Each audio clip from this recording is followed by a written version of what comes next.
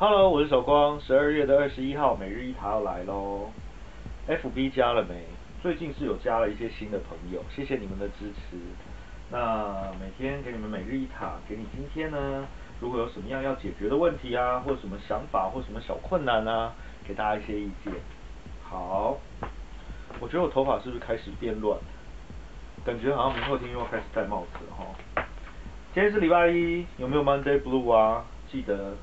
礼拜一到礼拜五的晚上十二点到一点，锁定中广音乐网哦，FM 九六，有些地方是九六点三，有些地方是九六点一。小光晚上深夜一个小时陪你一起听音乐，每天早上九点之前就会登场的每日一塔。今天是十二月的二十一号，二零一五年，天气不太冷。好，每日一塔今天给你什么样的建议？你在心里想一下你最在意的事情，好不好？今天有没有什么计划呢？还是想知道谁对你是什么看法呢？好，这张好不好？好，水晶拿出来加持一下，很可爱，对不对？如果你有当面碰到小光帮你算牌的话，你看到这水晶，你会觉得整个正能量充满，一定要给你一个好牌啊！今天十二月二十一号星期一，到底用什么样子的心态来面对会比较好？好，到底有什么问题？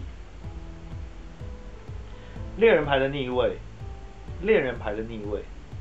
如果在感情上呢，其实是还不错，但是呢，其实恋人牌如果是逆位的话，跟其他人呢多多少少有一些关系。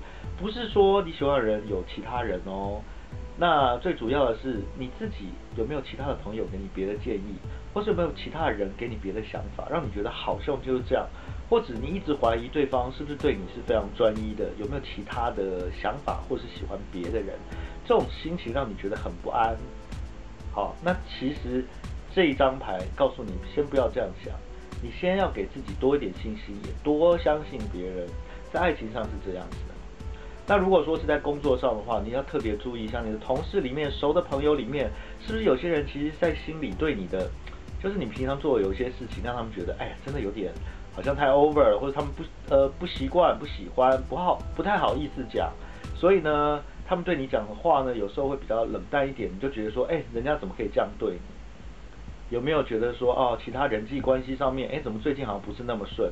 没关系，你还是一样先想想自己，因为呢，基本上。会有这些反应是正常的，那会讲这些话的人呢，基本上呢跟你的关系也不是那么的糟，所以呢他们只是一时情绪的抱怨，稍微理解一下就好了。